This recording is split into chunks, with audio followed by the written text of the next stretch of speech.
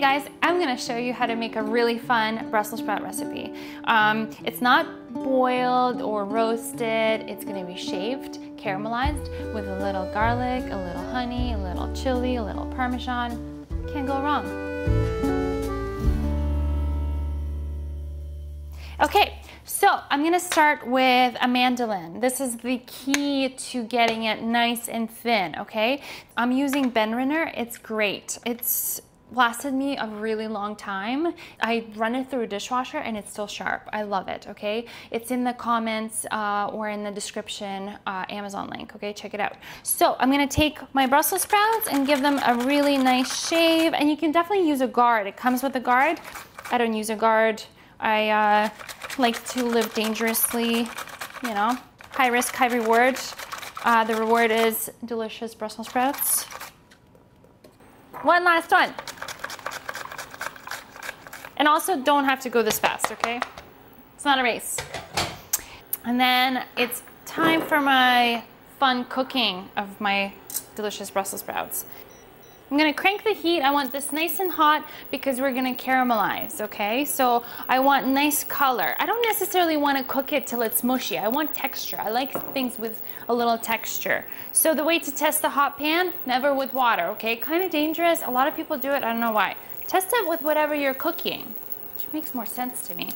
Okay, nice sizzle. That goes in. Beautiful. Use my knife. Perfect. All right. And then for that perfect caramelization, you actually just want to let it be, okay? You don't want to keep stirring it. As you're stirring it, you're cooling down the pan. You're not going to get that beautiful color we want, okay? All right, so I'm gonna have a look. Okay, okay, it's doing its thing. I'm not seasoning because the salt will draw out the moisture and then they will kind of sweat in their own juices, like hang out and get all sweaty, okay? We don't want that. We want it to crisp up almost, so we're gonna season at the very end.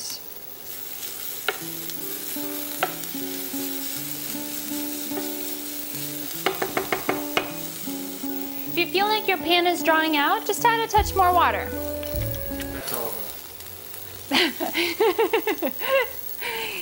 Just add a little olive oil. Okay, so I'm gonna season it with a little chili or cayenne pepper, just a touch. We're gonna do a little garlic. Oh, yeah. Okay. Give that a little, oh yeah, do you see that beautiful, like it should be almost sticking to the bottom of your pan. Really smelling that garlic. Oh, so good. Now I'm gonna season it. Healthy pinch of salt. You remember five finger pinch?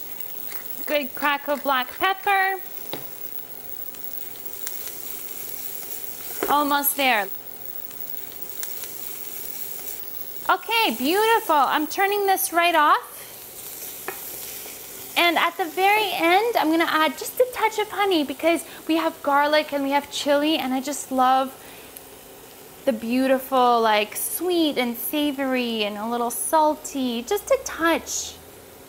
Oh yeah, beautiful. Mmm. So good. Okay, Look at this. Oh yeah, it's like, it's perfect because it's not overcooked. I hate mushy vegetables. I just, it's not, it's gross. So that goes in. It's a perfect side dish. And it goes well with everything, right? All right. And of course, because I love my Parmesan cheese, I'm gonna finish it with Parm, okay? Never too much Parm. All right. Oh, yeah. Mmm. Oh my god. it's so good. This is so good and so easy. It's perfect for a salad topping. I love my salads. I love Brussels sprouts. It's a little unique. Recipe is in the description. Brussels sprouts. See you guys next time.